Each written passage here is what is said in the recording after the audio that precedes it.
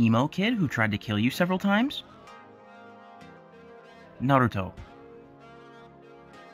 That makes sense to me. What?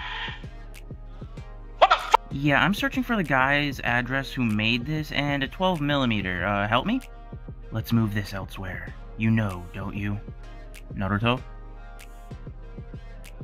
Anime adaptation? Netflix adaptation.